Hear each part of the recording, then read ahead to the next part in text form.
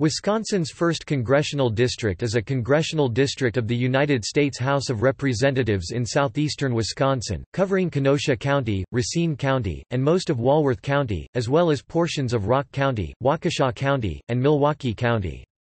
The district's current representative is Republican Paul Ryan, the current Speaker of the House of Representatives, who was the Republican candidate for Vice President of the United States in the United States presidential election of 2012.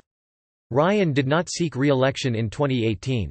Bryan Steil was elected on November 6 and is congressman-elect.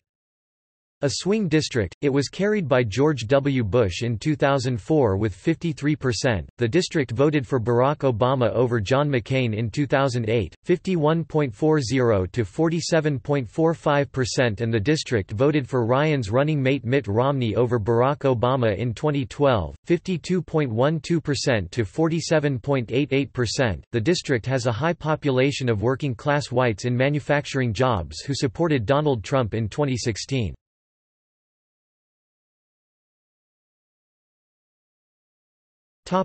Recent election results from statewide races.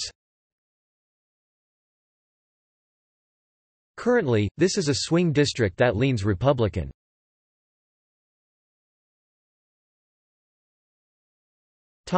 List of members representing the district.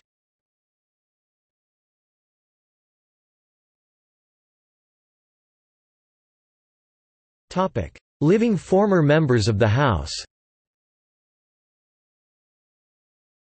As of April 2018, there are two living former members of the House from the district.